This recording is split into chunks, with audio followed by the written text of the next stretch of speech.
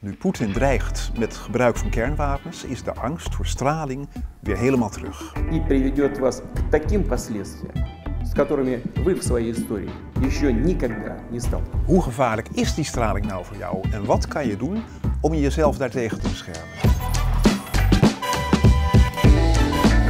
Straling. Je kan het niet ruiken, je kan het niet voelen, je kan het niet zien.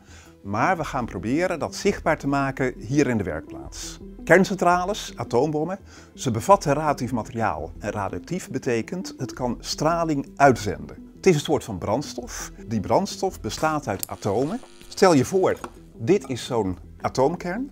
Die kan te veel van die deeltjes bevatten. En als het te veel deeltjes bevat, dan kan één zo'n deeltje worden uitgezonden. En dat is dan die straling. Straling komt ook gewoon voor in de natuur. Alles bestaat uit die kleine bouwstenen, atomen, en een heel klein deel daarvan is radioactief. Het zit in voedsel, het zit in zand, in baksteen, beton en we noemen dat natuurlijke radioactiviteit. Maar hoe gevaarlijk is die straling nou? Die straling die kan in je lichaam komen, kan daarin het DNA bereiken en dat DNA dat kan door die straling beschadigd raken. Bij natuurlijke straling zien we heel weinig van die DNA-beschadigingen. Maar ontvangen we duizend keer zoveel straling, dan wordt het duidelijk dat straling gevaarlijk is. Op korte termijn kan je er misselijk van worden. Op lange termijn kan dat beschadigde DNA kanker veroorzaken. Dat zagen we bij de overlevenden van de atoombom op Hiroshima en Nagasaki. Bij nog meer straling kan je binnen een paar weken overlijden aan inwendige bloedingen. En dat zagen we bij ongeveer 30 mensen die in Tsjernobyl in de reactor bezig waren ten tijde van de kernramp. Het maakt dus uit hoeveel straling je hebt ontvangen. En dat wordt bepaald door drie factoren. Hoeveel straling is vrijgekomen, op welke afstand sta je van de stralingsbron en hoe lang ben je blootgesteld. Bij de kernramp in Tsjernobyl is veel meer straling vrijgekomen dan in Fukushima. En de atoombommen op Japan in de Tweede Wereldoorlog, daar is nog veel meer straling vrijgekomen. En tegenwoordig zijn er heel veel soorten atoombommen. Elk heeft een ander effect en ook de hoogte waarop die explodeert maakt uit in de hoeveelheid straling. Hoe gevaarlijk een atoombom is, is dus lastig te voorspellen.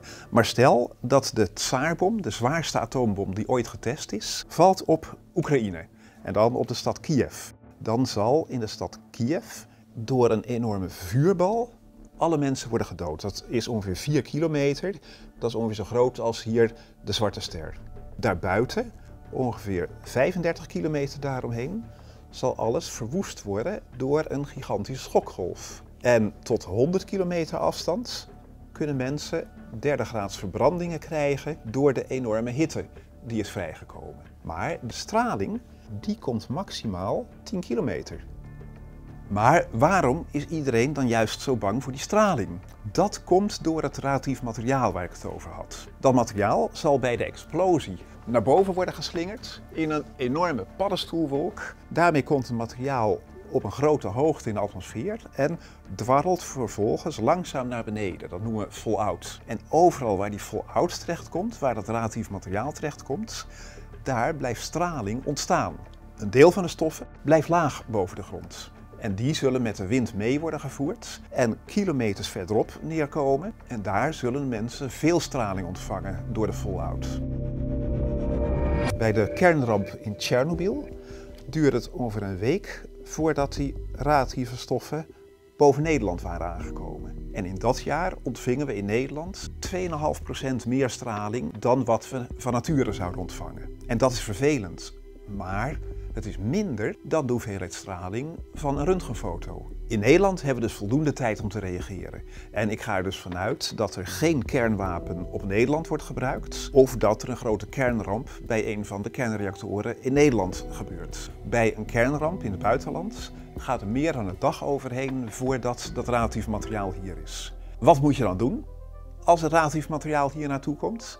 Je kan de dosis beperken door ramen en deuren te sluiten. Dat radioactief materiaal blijft dan buiten. In de fallout zit ook radioactief jodium. En radioactief jodium, als het in het lichaam terechtkomt, dan komt het terecht in de schildklier. En de straling kan daar dan schildklierkanker veroorzaken. Dat kunnen we voorkomen. Door vooraf jodiumtabletten te nemen, raakt de schildklier vol met gewoon jodium en daardoor past er geen radioactief jodium meer bij. Maar pas op, er zijn mensen met een overgevoeligheid voor jodium. En als je onnodig die tabletten slikt, dan kan het zijn dat het middel erger is dan een kwaal. Wacht daarom met die tabletten totdat de overheid dat heeft geadviseerd.